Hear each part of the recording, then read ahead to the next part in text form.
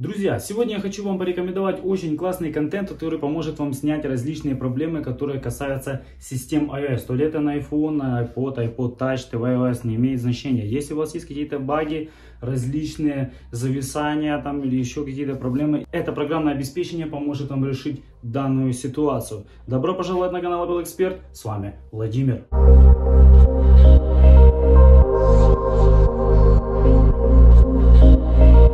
Так, смотрите, друзья, у меня есть вот iPhone 6, зависший на яблоке. И я вам сейчас наглядно продемонстрирую, как все-таки снять это ограничение и использовать в дальнейшем любое устройство, которое коснулось именно этих различных проблем. Давайте же посмотрим, как это все выглядит. Я хочу вас познакомить с отличной компанией, которая занимается восстановлением более 150 проблем iOS на iPhone, iPad, iPod Touch, Apple TV. Можете быстро устранить любую расположенную проблему iOS, tvOS самостоятельно, не обращаясь за помощью к техническим специалистам Apple, независимо от того, застряло ли ваше устройство в режиме восстановления DFU, белом логотипе Apple или станет черным, синим, замороженным отключенным экраном. Интеллектуальный инструмент для работы iOS избавит вас от неприятностей и легко и эффективно восстановит устройство к нормальной жизни. Верните свое устройство в нормальное состояние без потери данных. Исправьте iOS, tvOS с помощью двух режимов. То есть, в принципе, вот вся та характеристика, с которой вам нужно ознакомиться,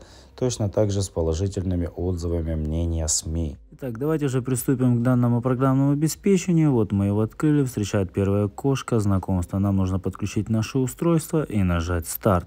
Что мы с вами делаем? Выбираем режим обычной очистки, либо глубокой. Я выбираю глубокую, жмем Next. Выбираем наше устройство, в моем случае это другое устройство, iPhone 6. Здесь показывает, как ввести в DFU режим. Вводим в DFU режим, как показано, нажимаем Далее. И выбираем, естественно, iPhone, прошивка определяется, все. Наше дело загрузить. Так как я уже загрузил, я нажимаю дальше, у меня пойдет процесс распаковки. распаковалась прошивочка, теперь нужно нажать далее. То есть нас предупреждает о том, что будет стираться все данные, накатываться новая прошивка, исправляться все ошибки. Вот, пошел процесс исправления ошибок. После того, как у нас все исправится, у нас телефон перезагрузится, накатится прошивка, и мы можем его использовать. Вот, в принципе, и все. Итак, друзья, после этих всех процедур мы можем спокойно активировать устройство, провести нашу регистрацию, ввести данные или же создать потом. Активируем спокойно устройство и используем.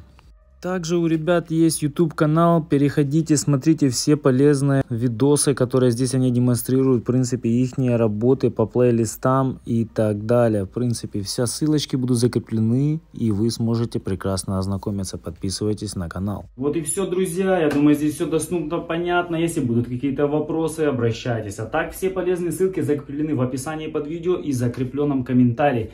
Дальше больше. Скоро увидимся.